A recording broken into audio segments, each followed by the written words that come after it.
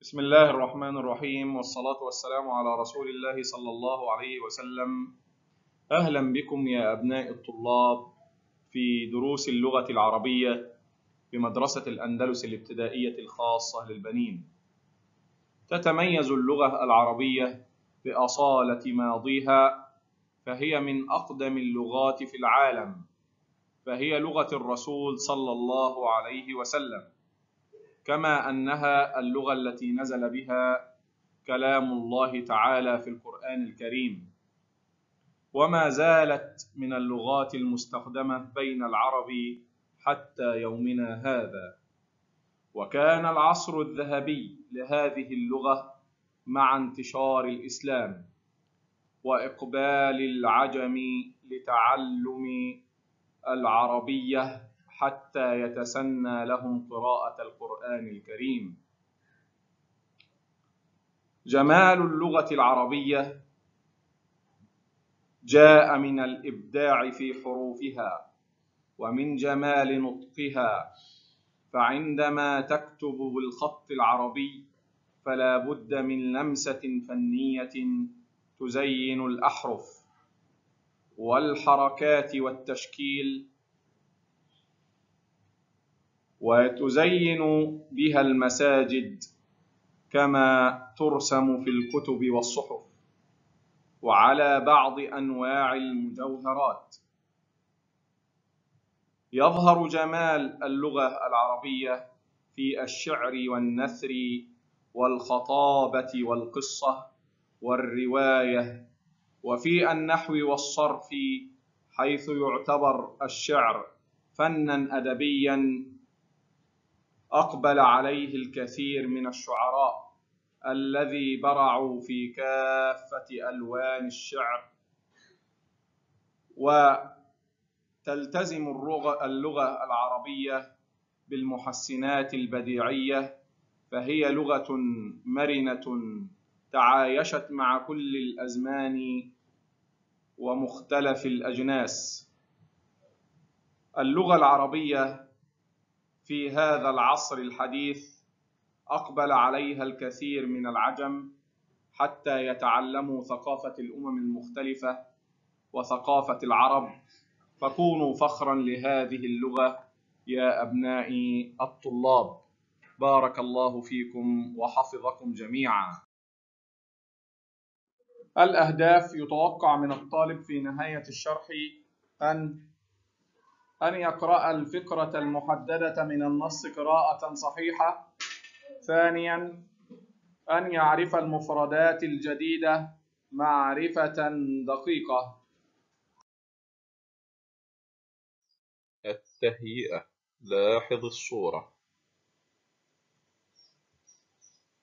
اكتب بعض الكلمات المرتبطة بهذه بهذه الصورة المعروضة أمامك. نخلة أحسنتم طويلة أحسنتم تمر بارك الله فيكم. وله أعمل للشاعر قحطان بير قدار. نحو الأفضل أسعى قدما وأطور نفسي أتقدم. وطموحي يكبر في قلبي وله أنا دوما أتعلم. أطمح أن أغدو في وطني ممن يبني ممن يصنع. ينفع كل الناس ويبقى. يطمح يمضي نحو الأرفع. التكامل مع مادة التربية الإسلامية من خلال الآية الكريمة. قال تعالى إنما يخشى الله من عباده العلماء.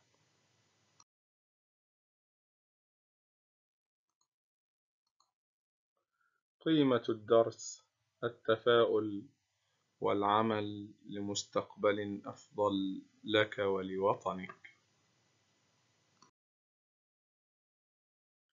اقرأ القصيدة قراءة صامتة ثم أجب عما يأتي. ما المعنى العام الذي تدور حوله أبيات القصيدة؟ الدعوة إلى العلم والعمل من أجل بناء الوطن. ما الزمن الذي يتوجه إليه الشاعر في معظم الأبيات؟ المستقبل بل أنظر نحو المستقبل.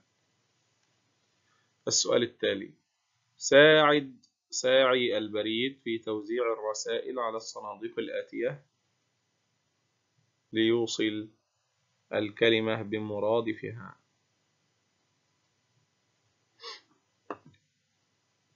أولا قدما وكلمة متقدا وكلمة ريبا. متقدا كلمة مشتعلا نبدأ بالكلمات التالية مشتعلا وشك ومسرعا. مشتعلا بمعنى متقدا. السؤال التالي شك معناها؟ ريب بارك الله فيك. مسرعا بمعنى قدما بارك الله فيك. أحسنتم يا أبناء الطلاب بارك الله فيكم حفظكم الله جميعا. ما الجملة التي تشتمل على كلمة يتفق معناها مع معنى الكلمة التي تحتها خط في الأبيات الآتية؟ ألف نحو الأفضل أسعى قدما وأطور نفسي أتقدم. معناه نقرأ باستمرار لنجدد معارفنا ومعلوماتنا. نعمل, نعمل بإخلاص لنكسب رضا الله. نمارس الرياضة لنتخلص من السمنة والأمراض.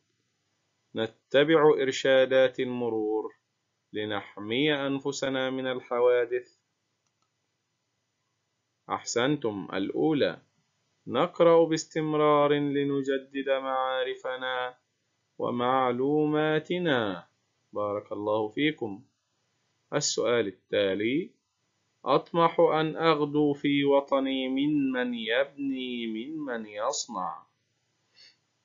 معنى أغدو؟ هل استقرت الأسرة في الحي الجديد أم أسرعت فاطمة في مساعدة العجوز أم عبرت الطريق من مكان عبور المشاة أم أصبحت البنت سعيدة بنجاحها بعد الكد والتعب. الإجابة هي أصبحت البنت سعيدة بنجاحها بعد الكد والتعب.